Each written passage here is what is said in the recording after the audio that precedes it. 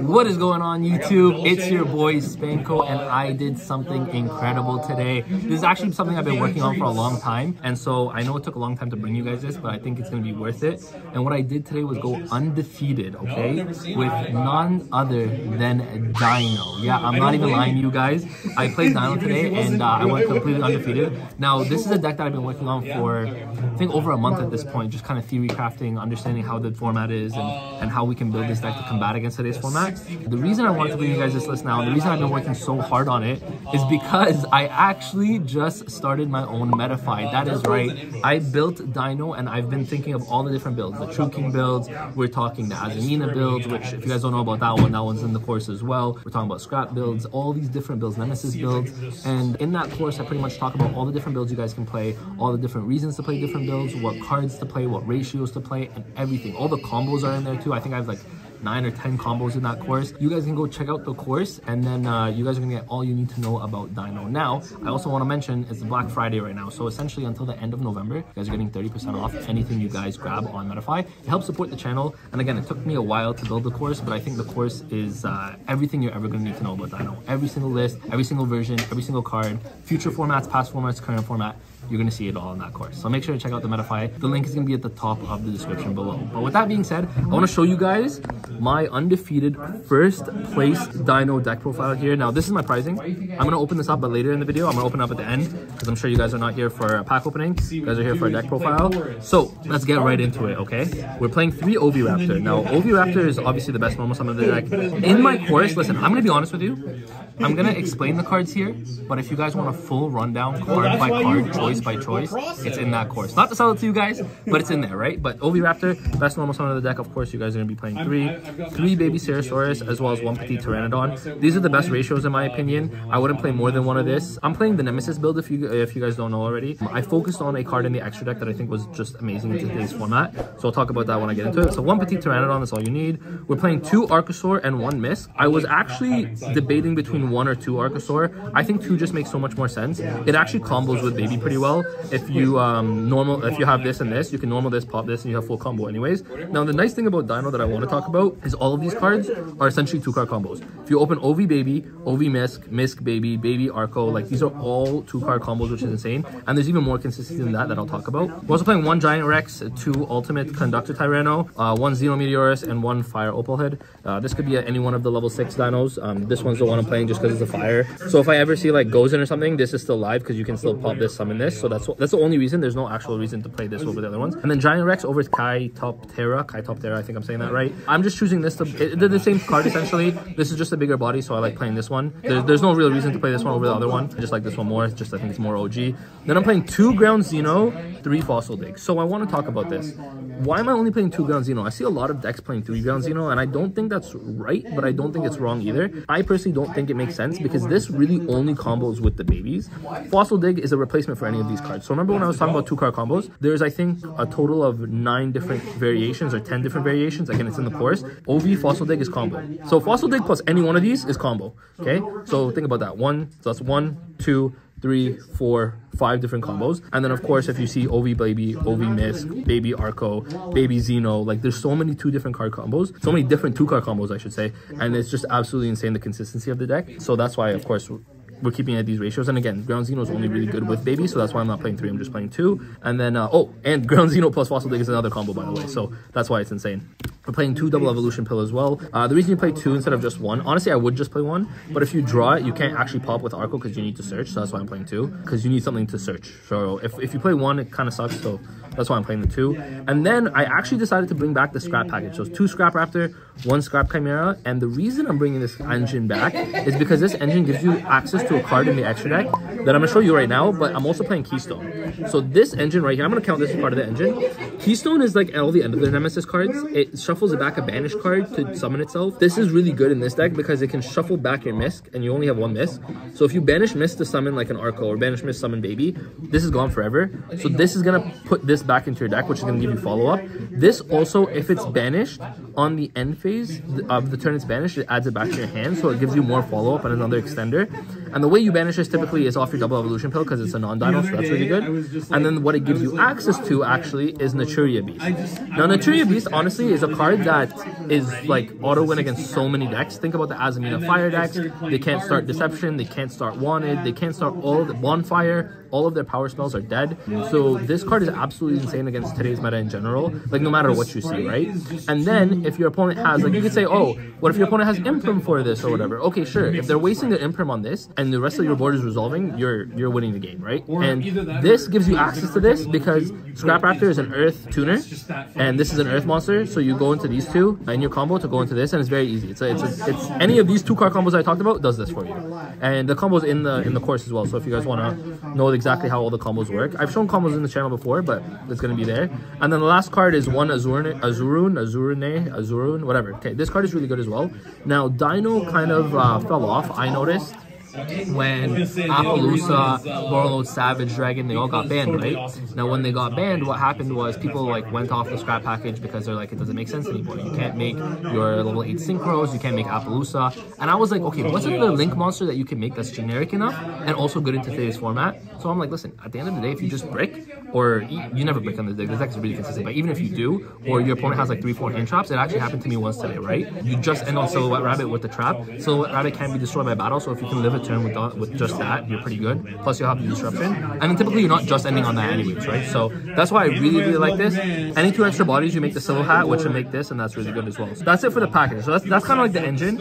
And it looks like a big engine, but again, it's because it's so consistent, I think it's very important to play these cards because you're really maxing out on all of the consistency in the deck, which is the most important. Post side, you can always side for every matchup, so you always have a good matchup. Now, for the non-engine, I'm playing three Ash, three Imperm, two Droll, two Veiler.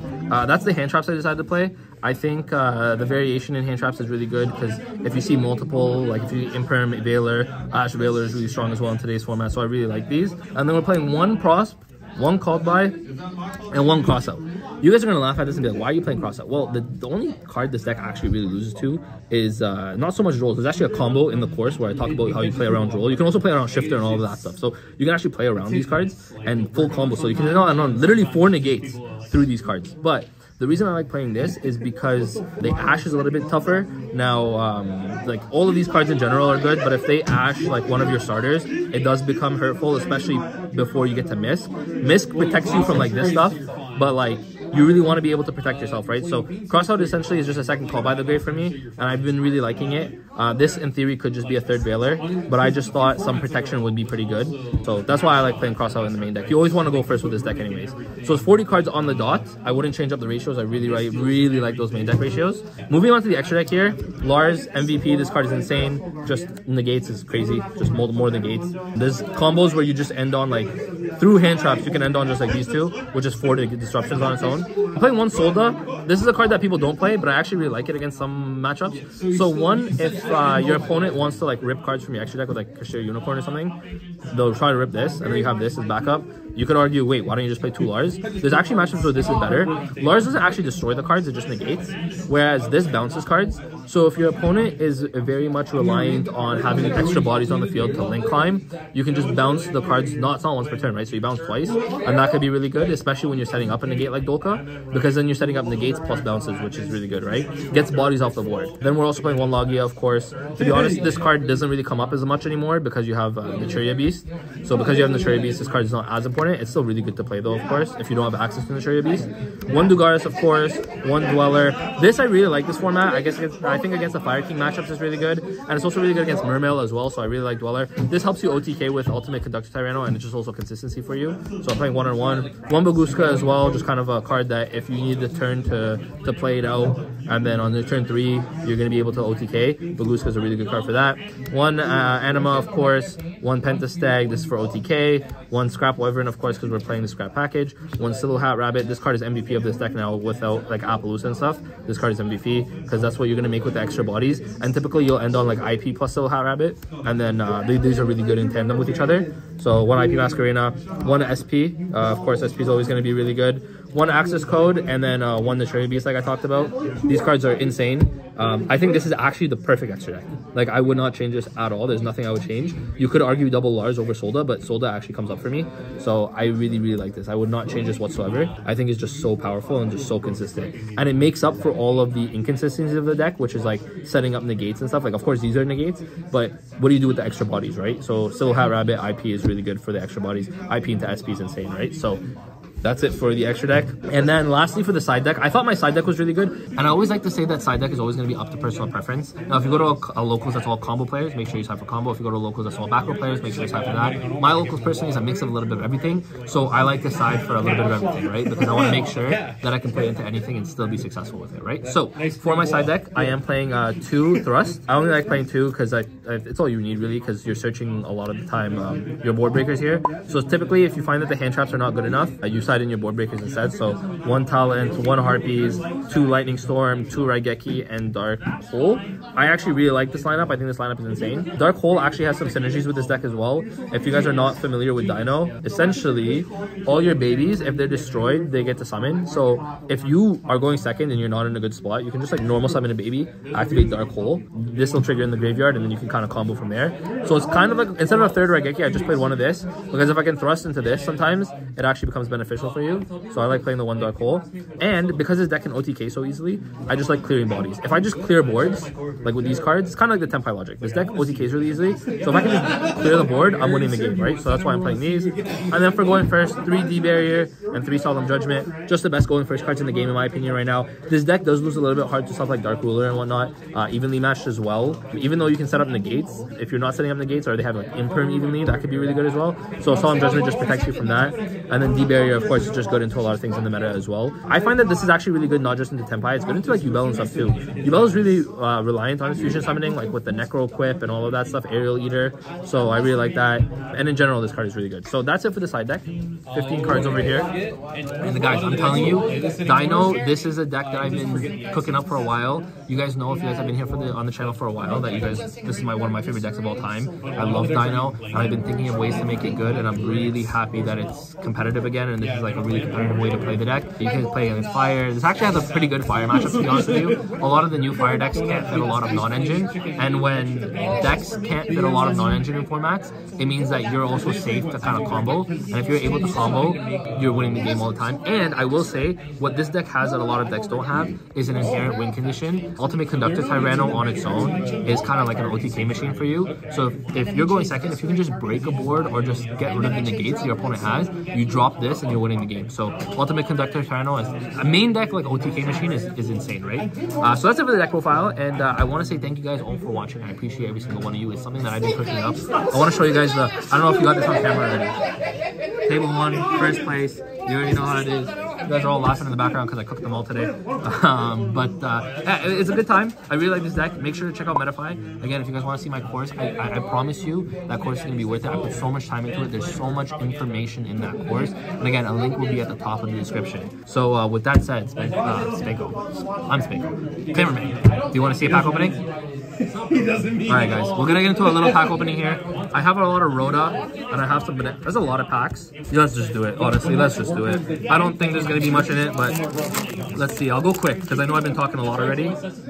Let's see if we can get a Fualos. Nope, no Fualos there. That's all we're looking for, really. We're just looking for secret rares. QCRs would be insane as well. Uh, we have a Ilias Silva. Okay, okay. Okay, okay. Two supers so far, but we still have hope. We still have hope. We still have Bonanza in here. So six packs of Rhoda for pricing today. Hollow has me the wrong one. Yeah, we got six packs of Rhoda, I think, and then three packs of Bonanza. So nine packs total. I'd say it's pretty good if you ask me. Let's keep going though.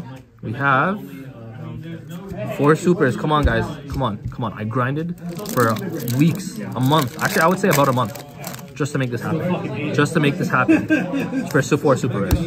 For five super rares. Okay, last pack of Rhoda over here. Let's see if we can get a Ultra Army or a secret rare. I mean, we got an ultra rare, I guess.